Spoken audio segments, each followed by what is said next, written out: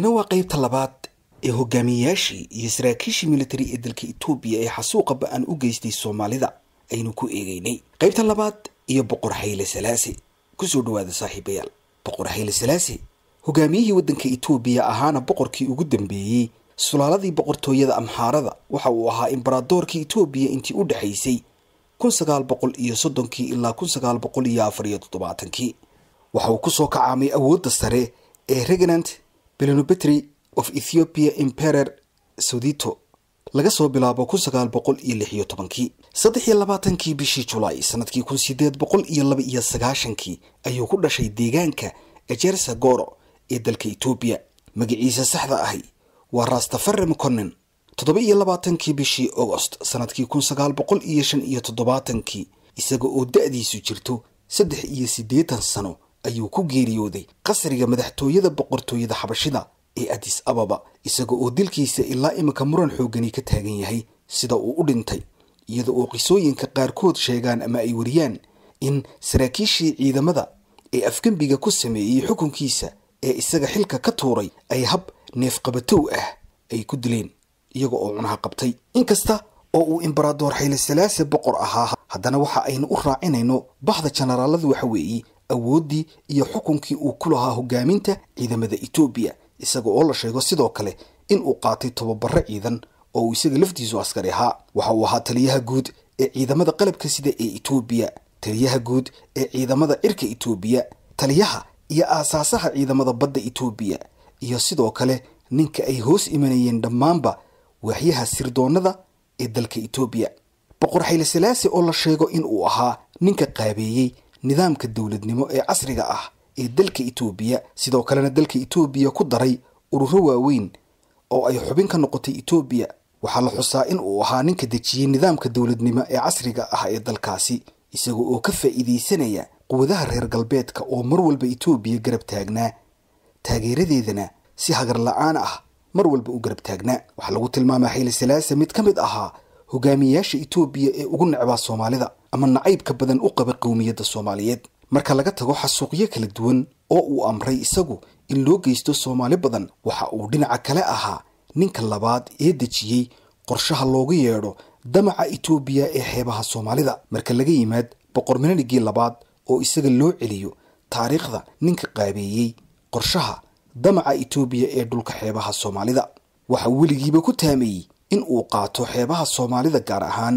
saylac iyo sidoo kale xeebaha ku beegan gobollada dhexe ee soomaaliya. Waxa uu dalalka reer galbeedka oo aad u taageeri jiray mar walba cadaadis ku saareeyey in ay soomaalida isaga hoos keenaan oo dhulka soomaalida la kala raaciyo kenya iyo ethoobiya inta taariikhda laga hayo ugu yaraan afar iyo toban jeer waxa uu kulamo xidhiidh ah qadiyadan ugu kala safray magaalooyinka moscow london washington roma iyo bruxel ama brussels oo beljimka ah. Waxa uu ahaa ninkii hogaaminayey siyaasadda dhulboobka boqortooyadii abasiiniya ee sida gaarka ah u doonayay in uu gebi ahaanba cagta mariyo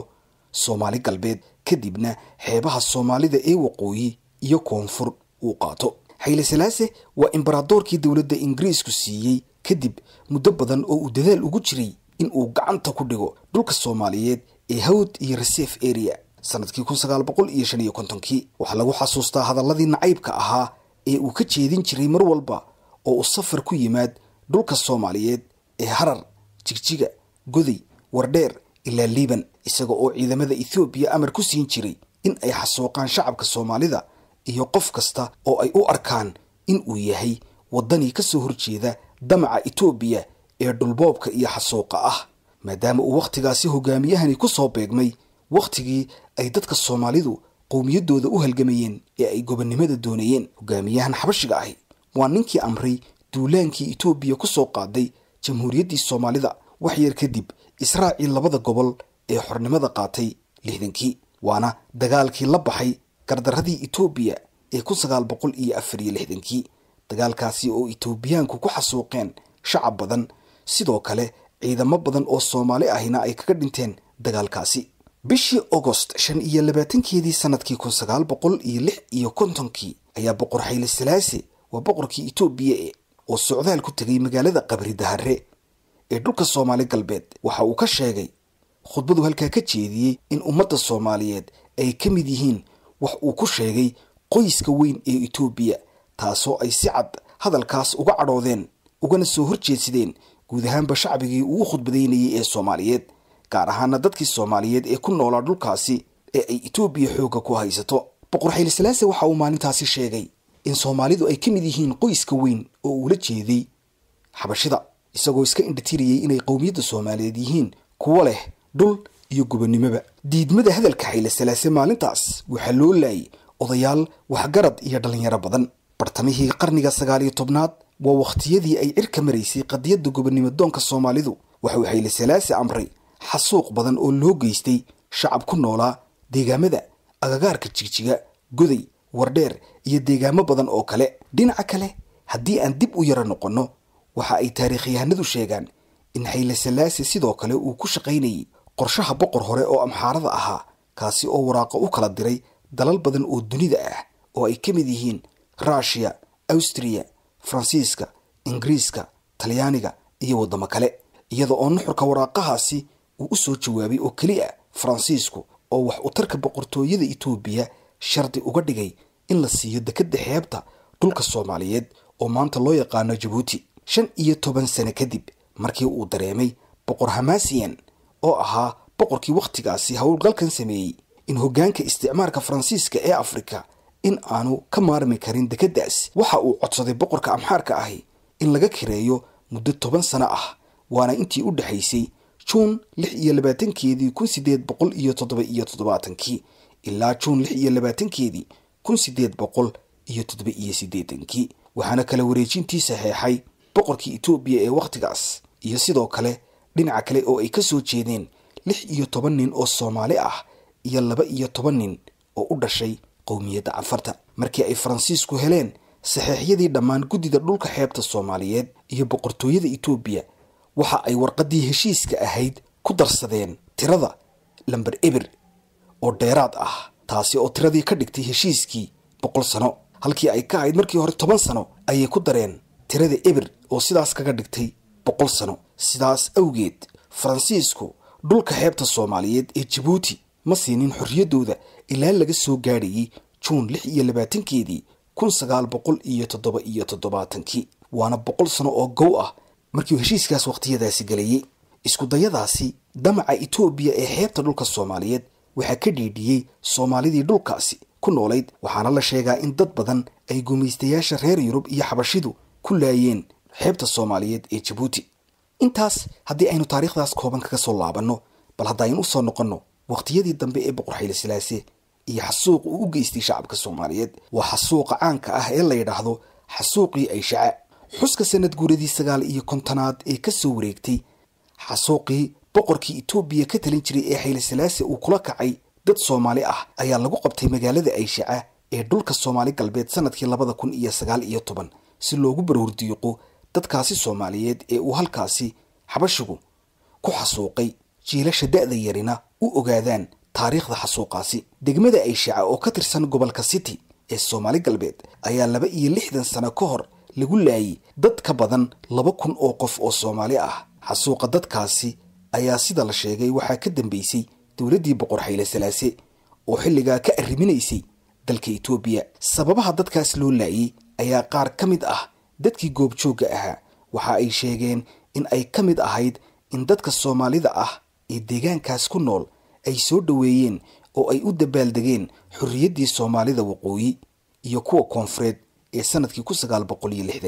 kumanaan kun oo dadka deegaankaasi ah ayaa isugu soo baxay dabaaldegyo iyo fantasiyo waaweyn oo ay ku muujinayaan sida ay ugu faraxsan yihiin xornimadii soomaalida waqooyi ka qaadatay maxmiyaddii ingiriiska lix iyo labaatankii juun sannadkii kun sagaal boqol iyo lixdankii iyo sidoo kale xornimadii soomaalida koonfureed talyaaniga ka qaadatay kowdii julaay sannadkii kun sagaal boqol iyo lixdankii. Dhammaanba dadka dhammaanba dadkaasi oo isaga kala yimid guud ahaan gobolka city ayaa halkaas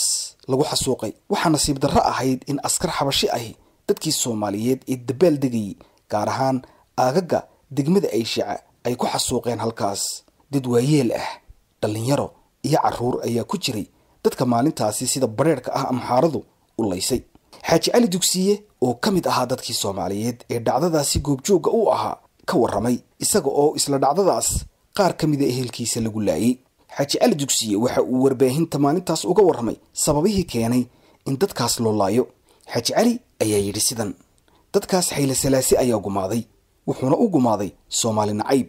waxa uu islahaa soomaaliya haddii ay calan hesho geeso biciid ayay yeelanaysaa. Xaaji cali dugsiye waxa uu intaasi ku daray in walaalkii oo ahaa curadkii hooyadii uu ka mid ahaa dadkii halkaas lagu xasuuqay. Xaaji cali dugsiye ayaa sheegay in nin soomaali ahi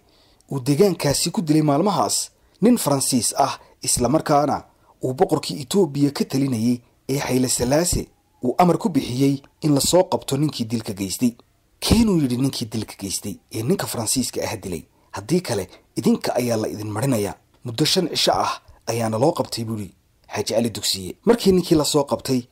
ee ninkii ninka dilay la keenay ayaa haddana sidaasna laguma dhaafine. Gaadh ayaana laga qabtay. Waxauu intaas ku daray in xasuuqaasi uu socday muddo shan iyo toban cisho ah. Dadka la laayeyna lagu qiyaaso laba kun oo qof iyada oo dilka ninka faransiiska ah loogu marmarsiyooday